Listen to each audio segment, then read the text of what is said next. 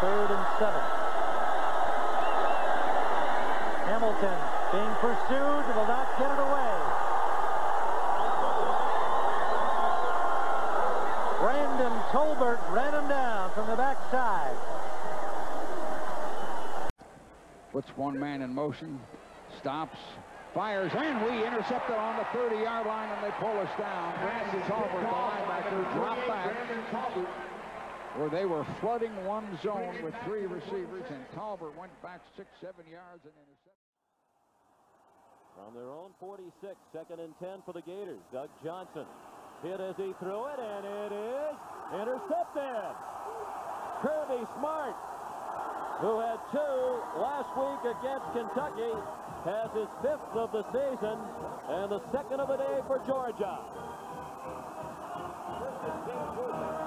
Sometimes a quarterback just can't get planted. Watch Brandon Tolbert. He's going to work about against Pat Browning, a new right tackle for Florida. Browning got too wide on his pass rush set. Tolbert came underneath him and really pressured Johnson. You can't always blame a quarterback for interceptions. Sometimes it's pressure. Early going third quarter, if you just joined us. They try to set up the screen pass, and he gets it away. No flag. Now here comes a flag, and they got a call grounding. Brandon Tolbert had a hold of him. This call, crowd-induced. Yeah, Adrian, I, I agree with you. Now that Wisconsin's got some weapons, and they can run with Georgia in the secondary. Quick looking pass, tipped and intercepted. That's Brandon Tolbert.